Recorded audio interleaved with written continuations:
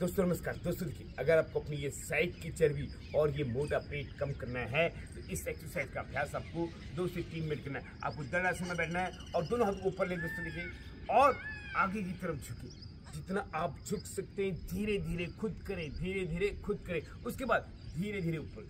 दो से तीन मिनट का अभ्यास करना है। दोस्तों, देखिए, सुबह सूर्य उदय होने से पहले पहले छः से सात के बीच में छः से सात के बीच में सुबह। अगर आप इस एक्सरसाइज का अभ्यास दो से तीन मिनट प्रतिदिन करते हैं तो आप देखना दोस्तों कि जो आपकी नाक है, आपकी घुटने पे लगेगी दोस्तों। आपकी नाक आपके घुटने पे लगेगी, लेकिन इसको करने के लिए, इस यहाँ पहुँचने के लिए पहले आपको थोड़ी सी मेहनत करनी होगी।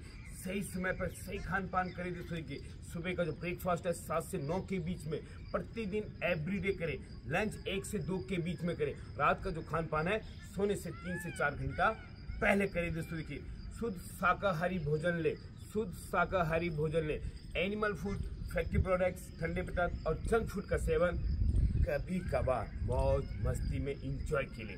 यानी कि तीस दिन में छः बार छः दिन नहीं, छह बार से ज़्यादा इनका सेवन आपको नहीं करना है। योग एक्सरसाइज को प्रतिदिन आधा घंटा अपने स्वास्थ्य के लिए आपको ज़रूर निकालना है।